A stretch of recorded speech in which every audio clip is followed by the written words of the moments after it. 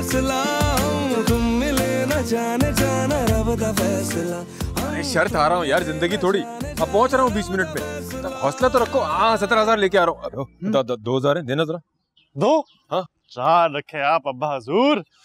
और हम तो आपकी औलाद हैं। हमारे पैसे पे तो आपका हक है। लॉटरी निकल आई है क्या? यूँ ही समझ लें। आइडिया की बातें कर रहे हैं कि सर पे चोट लगी है खैर अपना क्या? आइंदा ज़्यादा पैसे मांगूँगा। हाँ भाई क्या कह रहा था मैं?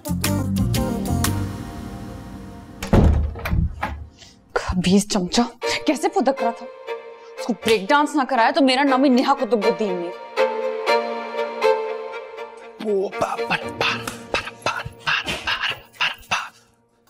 क्या ढूंढ रही हैं? दूध वाले का बिल रखा था पंद्रह हज़ार रुपए के साथ। पता नहीं कहाँ गया। सदर क्या मतलब? चालीस चोरों के सरदार गए हैं किसी को सत्रह हज़ार रुपए देने पंद्रह हज़ार यहीं से उठाए होंगे।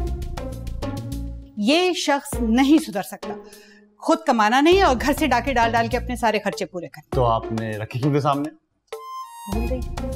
भूल गई? तो फिर माफ़ कर दे सारी दुनिया को। अपने बेटे की खुशी का सदका समझकर कि तुम किस खुशी में दरियाए घोड़े की तरह डोलते फिर माँ आज ऐसी खुशी मिली है कि बस दिल चाह रहा है कि सारी कायनात अपने सर पे वार कर बस किसी गरीब को दे दूँ। अपने बाप को दे दो वो इस घर में सबसे बड़ा गरीब है। हाँ।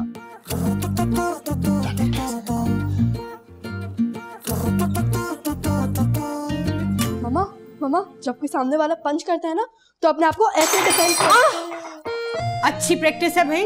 हर रोज कोई नया नुकसान करती हो बिल्कुल अपने बाप की तरह। क्या मतलब टूर्नामेंट है मेरा? प्रैक्टिस भी ना करूँ। तुम्हारे टूर्नामेंट के चक्कर में इस घर की आधी क्रॉकरी शहीद हो चुकी है। बाबा का गुस्सा मुझ पे ना उतारे। चप्पल उतारू मैं?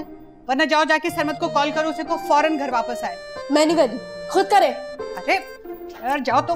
आउच इसको करती ना डिफेंड ताइक्वांडो कर रही है।